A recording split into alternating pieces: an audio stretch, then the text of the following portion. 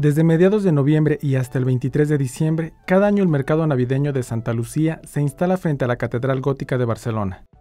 Miles de visitantes pasean durante estos días frente a tiendas de nacimientos, figuras navideñas, árboles, artesanías y en especial las tradicionales figuras catalanas de los caganers y los tions. Los tions o troncos mágicos de Navidad defecan dulces y regalos para los más pequeños de la casa después de que estos los golpean con un bastón al ritmo de canciones populares durante la Nochebuena. Escatológica e irreverente es la figura del Kaganer, que desde el siglo XVII adorna los nacimientos catalanes. La tradición aceptada por la Iglesia Católica trae suerte y alegría y el no hacerlo provoca desventura para el año nuevo.